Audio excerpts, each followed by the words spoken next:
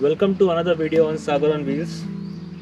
So today for my motorcycle I have a new product and that is the Dirtsack Frogman CS ADV bags and before buying this bag I had this issue because there is not a single review on the whole YouTube about these bags. There are other products like the Dirtman Frogman saddle bags, the Dirtman tail bags but I failed to find any review so I hope this review helps you.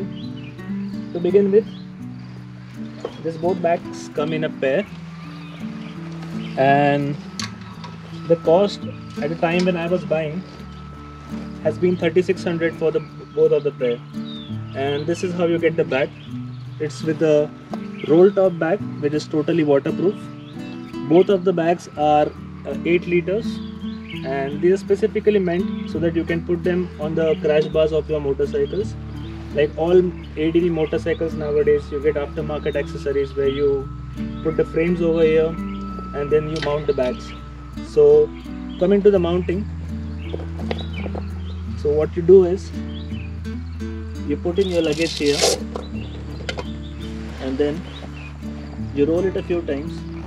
Make sure to remove any excess air or the bag seems a bit overinflated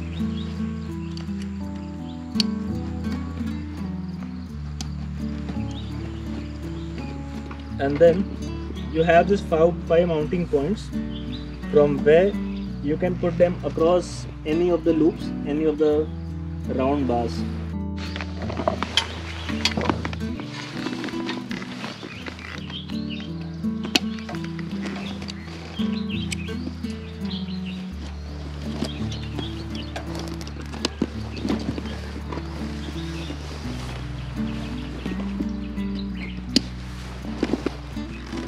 so right now I have mounted it over three points and I think that's sufficient. And as far as I have ridden off-road I can say it's quite stable.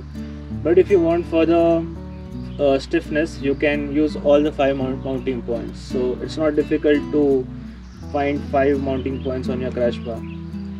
So it also makes sense for this bag to be used around in the saddle uh, as a tail bag or on the rear luggage. So I'll put a few photos of the places which on where this can be mounted.